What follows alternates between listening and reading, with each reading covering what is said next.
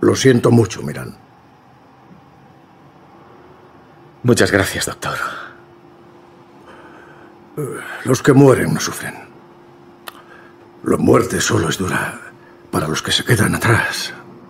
No solo como médico, sino también lo digo sintiendo como padre. Que ningún padre viva la muerte de su hijo. Amén. Muchas gracias, doctor, por dejarme ir con mi padre y mantenerme informado sobre el estado de Reiyan. Gracias por todo. Pero... Por favor, dígame algo concreto sobre el pronóstico de mi esposa. Hemos decidido despertar a Reiyan. Ha estado durmiendo dos días. Creemos que está mejorando gracias al tratamiento que le aplicamos. Suspendemos la medicación. Bueno, ¿y qué pasará después? Depende de cómo reaccione ella, pero tenemos que hacerlo, Miran.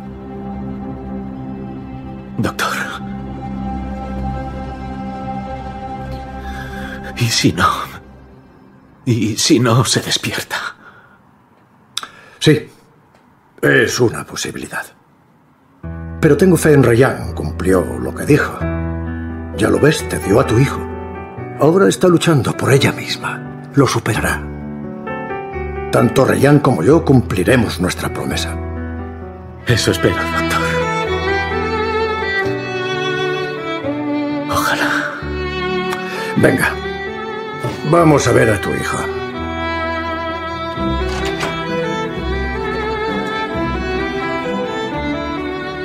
Umut te habrá echado de menos. Vamos.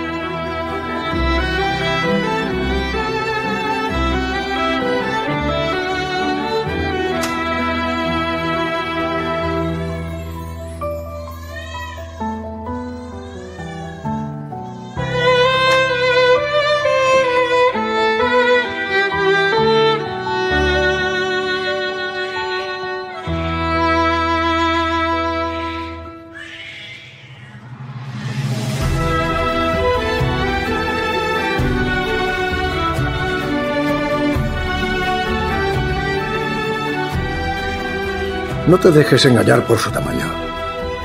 Está haciendo todo lo posible por salir adelante. Tu hijo es muy fuerte, mira. Como su madre. ¿Qué? ¿Aún no has podido conocer a tu madre, eh? Pues entonces deberías estar en brazos de tu padre, que sienta tu calor.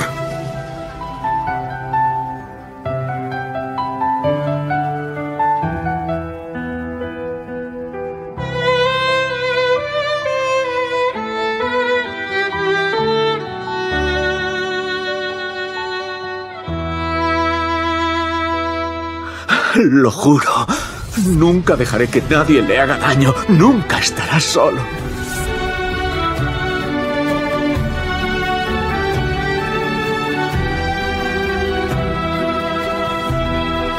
Umut será feliz.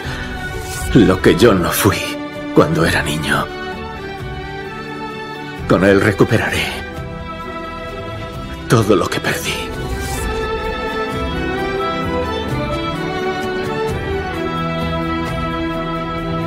Reian, Umut será bueno para nosotros.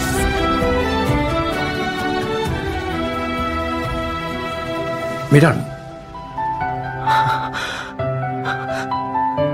Lo abrazaremos juntos. Cuando su madre se recupere, lo abrazaremos.